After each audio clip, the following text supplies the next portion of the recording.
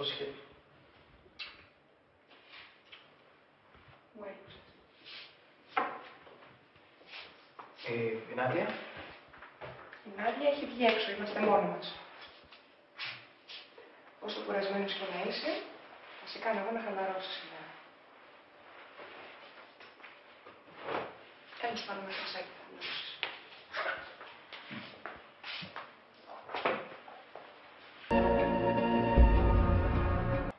στην υγεία σου. Στην υγεία σου και να είσαι καλά ό,τι και αν συμβαίνει. Πώς σε λένε; Γιάννη.